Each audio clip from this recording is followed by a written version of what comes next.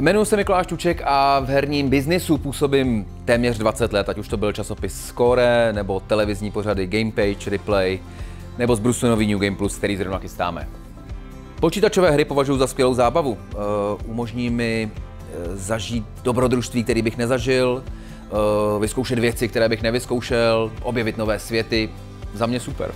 Ale stejně tak mě baví komiksy, knihy, anglický fotbal, sportování. Ten život je podle mě hrozně barevný a různorodý, tak by ho to jako chtělo si užít naplno. My jsme nakonec vždycky v našich projektech akcentovali, že hry jsou super věc, ale není to jediná super věc. Mám tři dcery, takže hrajeme takové jemnější hry. Eh, ten tlak na střílečky asi není takový, jako kdybych měl tři chlapce. Snažíme se našim holkám se ženou ukázat co nejvíc věcí, co nejvíc eh, možností, no a pak ať si vyberou sami. Hry jim rozhodně nevnucuju, když by se to možná ode mě očekávalo, ale zase jim v tom nebráním. Zatím hrají převážně na telefonech a tabletech. Eh, jednou za čas jim vždycky něco doporučím, něco, co mě dává větší smysl, ale třeba ty mladší eh, spokojeně oblékají panenky nebo trénují gymnastky, což mě za stolik nebaví. Eh, jednoznačně mají omezený čas, který u toho mohou trávit, ale jako jestli se mě ptáte, jestli jsem třeba v sobotu ráno nevrazil na chvíli tablet, ať si ještě můžu hodinu pospat, tak to se určitě párkrát stalo.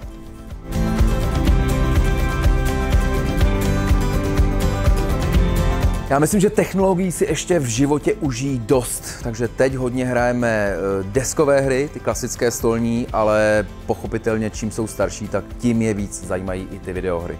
Zrovna nedávno jsme měli s nejstarší dcerou volný večer, tak jsem vybral eh, Overcook 2, což je taková eh, jednoduchá kuchařská hra, kde plníte různé úkoly. A co mě na tom přijde dobrý, že to musíte dělat společně.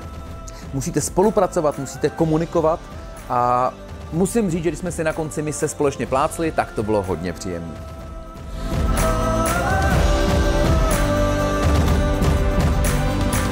No a člověk zjistí i něco o sobě. E, třeba jednou, když Rozárka objevila hasící přístroj a začala hasit místo, aby vařila, tak jsem na ní říkal, jako neblbni, neřechtej se, prostě tady se nám pálí maso, no. Tak jako nemají to úplně jednoduchý. Tak já když už, když už hraju, tak chci vyhrávat.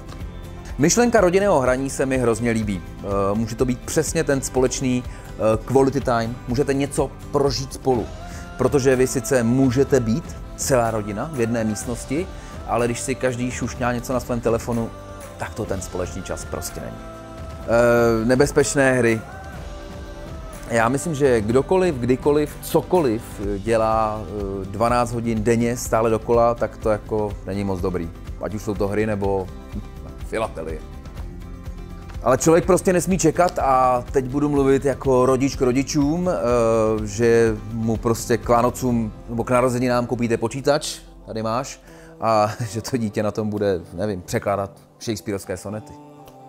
Chce to podle mě sledovat, co hrají a, a ideálně bavit se s nimi o tom. Eh, dříve nám rodiče taky koukali přes rameno, na co zase čučíme, na tu bednu, no, tak nějaký, nějaký, nějaký přehled co to dítě vlastně dělá, to by člověk měl mít. Chápu, že pro rodiče, kteří nikdy nic nehráli, to může vypadat jako něco uh, hrozně složitého, ale zkuste to. Nebojte se, já myslím, že se brzo chytnete. A třeba nakonec zjistíte, že je to přesně ten parádně strávený společný čas.